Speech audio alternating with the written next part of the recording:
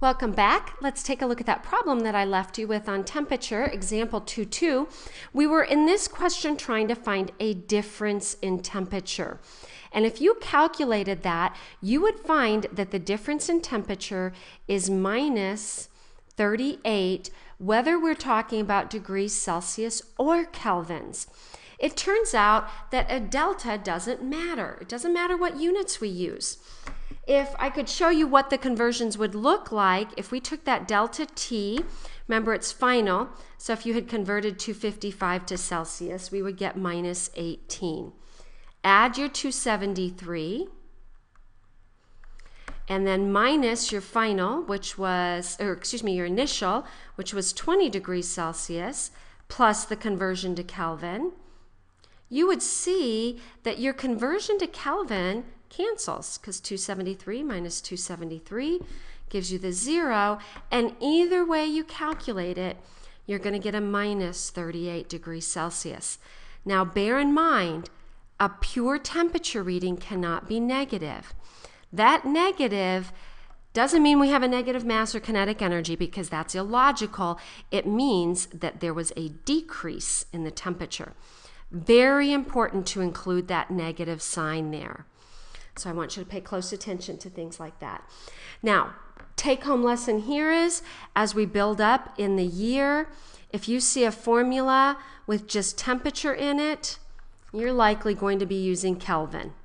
If you see a formula with a delta T, we won't use that for quite a while, but when you do, you can use either degrees Celsius or Kelvin for that. Now, let's talk a little bit about Kelvin, some interesting things that Ms. Marusik was looking up recently. First off, you need to understand that concept of absolute zero. Uh, if I could write an objective verb for you, this would be at the definition level. You need to define absolute zero. So let's look at some of the key terms here. That's the point at which a perfect, pure, crystal exhibits perfect order. Effectively, all motion stops. And I really wouldn't have guessed this. If I'd had to guess, I would have thought we were maybe in the millionth or something of a Kelvin unit. But look at this. We are actually at 0.10, what we call nano kelvins. So if you bring this over, you'd see a nano kelvin is actually 10 to the minus ninth, just to give you a preview of the prefixes you're going to, to learn. That's pretty amazing. Now, she also found, I'm guessing on Wikipedia, but she also found that the coldest natural temperature that's ever been recorded is minus 89.2 degrees Celsius. And there's the Fahrenheit and the Kelvin conversions for that up in Antarctica. So, just a unique little tidbit. Don't need to memorize that. You don't need to memorize that, but you definitely need to know what absolute zero is referencing.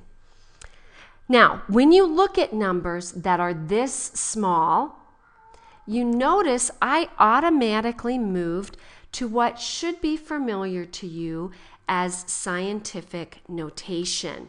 So let's take a look at scientific notation and how we're going to be using it in our class. My key focus is going to be teaching you to use this scientific notation on your calculator. You will, at the pre AP level, always have a calculator available. When you have that opportunity to take AP chemistry, there is a component without a calculator, and I'll teach you more of this type of mathematics then.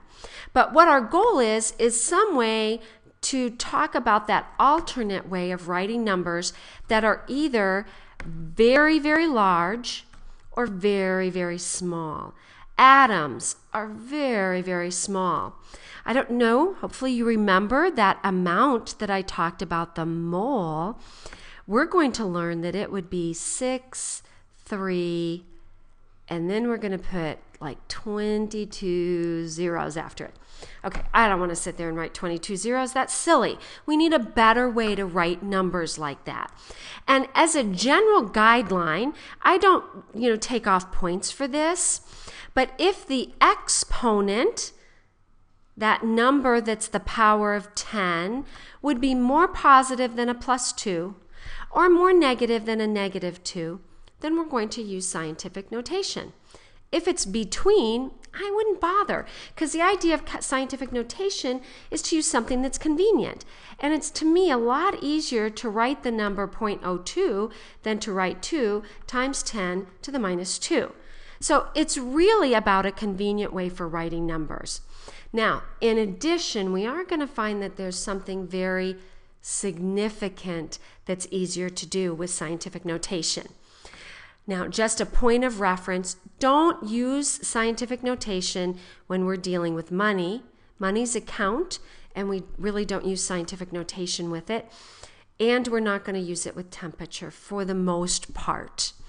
You know, again, that's probably not something I'm going to take points off for, but we really want to work on uh, improving our skills on things like that. Now, a good portion of this is going to be done in the classroom, but let me give you a quick review so you're ready to jump right in in the classroom. I've already used some of these terms in scientific notation. The number in front of the multiplication sign is called the coefficient. So you need to be familiar with that term. We'll use it in a couple of contexts, and in general, it means the number in front of if we could just simplify it. Now, this number that's in the power of 10 is called the exponent. So, that number is very important because that exponent is going to give you an idea of what keystroke we're going to use on our calculators. And it's typically going to be listed as an EE key or an EXP key. And again, we'll, we'll look at that in more detail in class so I know for sure you can find it. Now, for chemistry, engineering scientific notation is different. We're not going to deal with engineering. But for chemistry, the coefficient has to be a number equal to 1 or less than 10. Can't be equal to 10. It's got to be less than. So if we want to write that mathematically, it can be greater than or equal to 1. So it can be equal to 1 and then we'd have our coefficient, but it has to be less than 10, not less than or equal to, but less than 10. Okay? Now, if we're talking about numbers greater than 1, so if our number, original number is greater than 1, then our exponent is going to be a positive value. If we have fractions between 0, there's our number, and 1, then we're going to see that our exponent is going to be a negative number. And again, I'm hoping this is a bit of a review for you. Now, one more concept, and then we'll work on calculators in class. If you have to estimate, which is very valuable, you can often move very quickly when you estimate, converting from scientific to decimal. If the exponent is a positive value, you want to move the decimal to the right. If the exponent is a negative value, then you want to move your decimal point to the left in going back to decimal form. Again, I'm going to teach you how to let our calculator do that.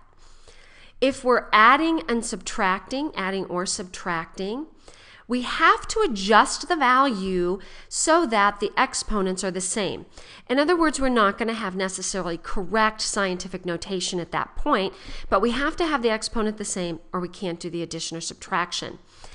If, on the other hand, we're dealing with multiplication, what we're going to do is multiply the coefficients and add the exponents. For division, we divide the coefficients, and subtract the exponents. Now, this is handy to know. It is likely that when you learn this in math, they're not going to let you use your calculators. But in our class, we're using calculators. And I'm going to teach you how to use our Nspire calculator when you are in class the next time I see you. So, take a break. We're going to go on in the next videos to some of the more mathematical processes, learning that critical thinking that we're going to be using in the mathematics of chemistry.